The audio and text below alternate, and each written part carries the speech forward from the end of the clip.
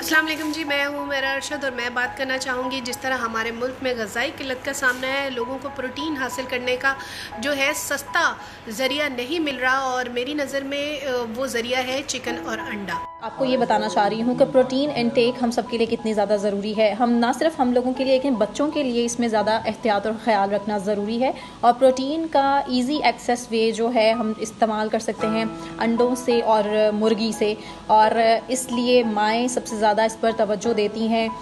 ज़िंदगी में सबसे अहम सेहत होती है और सेहतमंद ज़िंदगी गुजारने के लिए अच्छी खुराक बहुत ज़रूरी है और अच्छी खुराक में प्रोटीन बहुत ज़रूरी है हमारी सेहत के लिए और प्रोटीन का एक बड़ा ज़रिया मुर्गी और अंडे हैं।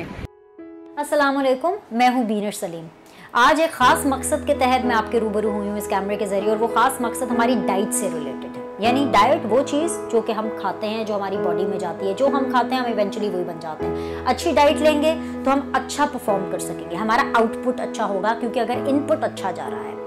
प्रोटीन हमारी डाइट का, हमारी बॉडी के लिए एक बड़ी एक इंपॉर्टेंट कॉम्पोनेंट है।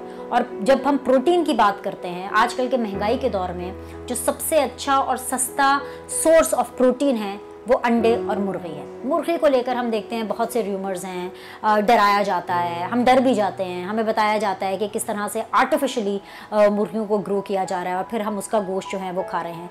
लेकिन जो ब्रॉयलर मुर्गी है, उसके बारे में जितनी भी र्यूमर्स हैं, जितने भी सवाल हैं आपके मन में, उनको पाकिस्तान पोल्ट्री एसोसिएशन एक बड़े अच्छे और बहुत बड़े फॉरम के ऊपर एड्रेस करने जा रही है, ताकि तमाम मिथ्स को ख़त्म कर सके, तमाम सवालों के जवाब दे सकें, तमाम र्यूमर्स को ख़त्म कर सकें।